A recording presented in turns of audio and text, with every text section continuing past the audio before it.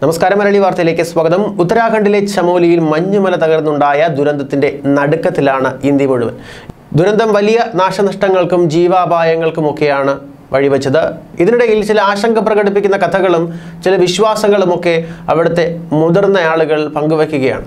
അതായത് ദുരന്തത്തിന് കാരണം ഗ്രാമത്തിലെ ക്ഷേത്രം നീക്കം ചെയ്തതാണ് എന്നാണ് മുതിർന്ന ചില ആളുകളും ഗ്രാമവാസികളും ഒക്കെ കുറ്റപ്പെടുത്തുന്നത്.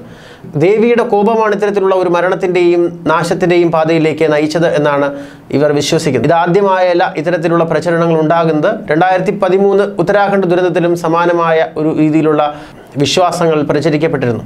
അന്ന് രുദ്രപ്രയാഗ് ജില്ലയിലെ ശ്രീനഗറിനടുത്തുള്ള ധാരി ദേവിയുടെ ക്ഷേത്രം മാറ്റിയതാണ് ദുരന്തത്തിന് കാരണമെന്നാണ് പ്രദേശവാസികൾ വിശ്വസിച്ചത്. സമീപത്ത് വരാനിരിക്കുന്ന ഒരു ജലവൈദ്യുത പദ്ധതി മൂലം വെള്ളത്തിൽ മുങ്ങാതിരിക്കാൻ വേണ്ടിയാണ് ഈ ക്ഷേത്രം മാറ്റിയത്. ചാർധാം തീർത്ഥാടനത്തിന്റെ സംരക്ഷണത്തിനായി കണക്കാക്കപ്പെട്ടിരുന്ന ഈ ദേവതയെ ശല്യപ്പെടുത്തരുതെന്നാണ് ആളുകൾ വിശ്വസിച്ചിരുന്നത്. ഋഷിഗംഗയും ദൗലിഗംഗയും കൂടിച്ചേരുന്ന പ്രദേശത്താണ് റെയിനി ക്ഷേത്രമുണ്ടായിരുന്നത്.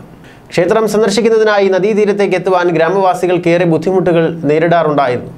റോഡരികിലെ പ്രധാന ഘടനയുടെ പ്രാതിനിധ്യമായി അവർ ഒരു ചെറിയ ക്ഷേത്രം പണിയുകയും ചെയ്തു. അതിനാൽ പ്രായമായവരുൾപ്പെടെ എല്ലാവർക്കും സന്ദർശനത്തിനായി എത്താൻ സാധിക്കുമായിരുന്നു ഇവിടം. എന്നാൽ കഴിഞ്ഞ വർഷം ഗ്രാമീണരുടെ കടുത്ത എതിർപ്പിനെ തുടർന്ന് പ്രാദേശിക ഭരണകൂടവും പവർ പ്ലാന്റ് ഉദ്യോഗസ്ഥരും ചേർന്ന് ചെറിയ ക്ഷേത്രം നീക്കം ചെയ്യുകയായിരുന്നു.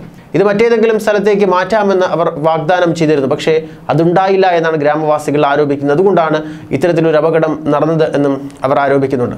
ഇതിൽ ദേവിയുടെ കോപമുണ്ടായി. അതിനെ തുടർന്നാണ് മിന്നൽ പ്രളയം ഉണ്ടായത് എന്നും പ്രദേശവാസികൾ വിശ്വസിക്കുന്നുണ്ട്. അതേസമയം ഉത്തരാഖണ്ഡിലെ രക്ഷാപ്രവർത്തനം ഇപ്പോൾ നിർത്തിവച്ചിരിക്കുകയാണ്. ഋഷിഗംഗാ നദിയിലെ ജലനിരപ്പ് ക്രമാതീതമായി ഉയർന്നതിനെ തുടർന്നാണ് രക്ഷാപ്രവർത്തനം നിർത്തിവച്ചിരിക്കുന്നത്. എന്നാൽ അപകട നിന്നും ഇനിയും നൂറ്റി എഴുപതോളം പേരെ കണ്ടെത്താനുണ്ട് എന്നാണ് വിവരം ലഭിക്കുന്നത്. ഏറ്റവും കൂടുതൽ തൊഴിലാളികൾ കുടുങ്ങിക്കിടക്കുന്ന തപോവനിലെ തുരങ്കത്തെ ചൊല്ലിയുള്ള ആശയക്കുഴപ്പം ഇപ്പോഴും തുടരുകയാണ്.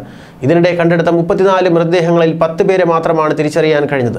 നിലവിൽ തൊഴിലാളികളുണ്ട് എന്ന വിശ്വാസത്തിൽ പരിശോധന നടത്തുകയായിരുന്ന തുരങ്കത്തിൽ ആരുമില്ലായിരുന്നു സംഭവ സമയം തൊഴിലാളികൾ ജോലി ചെയ്തിരുന്നുവെന്ന് സംശയിക്കുന്നിടത്താണ് പരിശോധന നടത്തിയതെങ്കിൽ കൂടി അത് വിഫലമാവുകയായിരുന്നു. ഇതേ തുടർന്ന് മറ്റൊരു തുരങ്കത്തിലേക്ക് കൂടി അന്വേഷണം വ്യാപിപ്പിക്കാനാണ് രക്ഷാപ്രവർത്തകരുടെ തീരുമാനമുണ്ടായത്.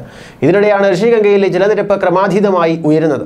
ഇതേ തുടർന്ന് രക്ഷാപ്രവർത്തനം നിർത്തിവെക്കാനും യന്ത്രസാമഗ്രികൾ കൂടുതൽ ഉയർന്ന പ്രദേശത്തിലേക്ക് മാറ്റാനും തീരുമാനിക്കുകയായിരുന്നു എന്നാൽ കഴിഞ്ഞ ദിവസങ്ങളിൽ തെറ്റായി ലഭിച്ച വിവരത്തിന്റെ അടിസ്ഥാനത്തിൽ വിലക്കപ്പെട്ട മണിക്കൂറുകൾ പാഴായത് ശേഷിക്കുന്ന ജീവനുകൾ കണ്ടെടുക്കുന്നതിന് തിരിച്ചടിയായി എന്നാണ് രക്ഷാപ്രവർത്തകരും പറയുന്നത്. നിലവിലെ തുരങ്കത്തിൽ നിന്ന് പന്ത്രണ്ട് മീറ്റർ താഴെയാണ് രണ്ടാമത്തെ തുരങ്കം. ഇതിലേക്ക് എത്തിപ്പെടാനായി ഡ്രില്ലിംഗ് മെഷീനുകൾ ഉപയോഗിച്ച് മറ്റൊരു തുരങ്കം ഉണ്ടാക്കുകയാണ് രക്ഷാപ്രവർത്തകർ. ന്യൂസ് ഡെസ്ക് മലയാളി വാർത്ത.